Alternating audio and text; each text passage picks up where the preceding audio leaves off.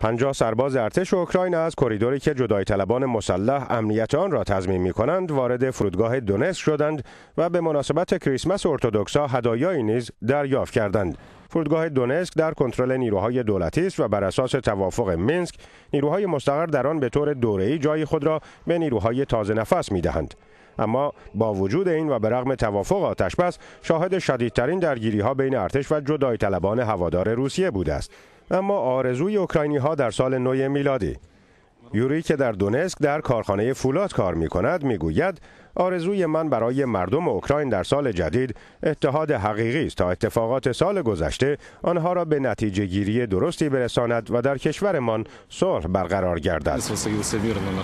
هالینا معلم ساکن در کیف هم می‌گوید به نظرم در این روز و این جشن عموم مردم خواهان پیروزی خوبی و نیکی بر شرارت ها هستند تا جنگ تمام شود و برای مردم سلامتی و شادمانی برمغان آید.